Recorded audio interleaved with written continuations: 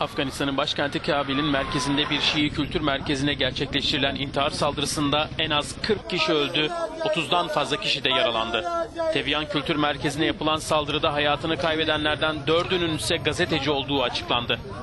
Taliban'ın saldırıyı kabul etmediğine dair yaptığı duyurunun ardından yapılan bir başka açıklamada terör eylemini IŞİD üstlendi.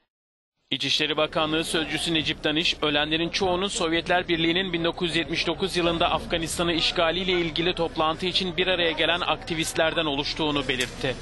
Diğer yandan Afganistan'da geçtiğimiz Ekim ayında aynı gün içinde bir Şii ve Sünni camiine yapılan intihar saldırısında da 69 kişi hayatını kaybetmişti.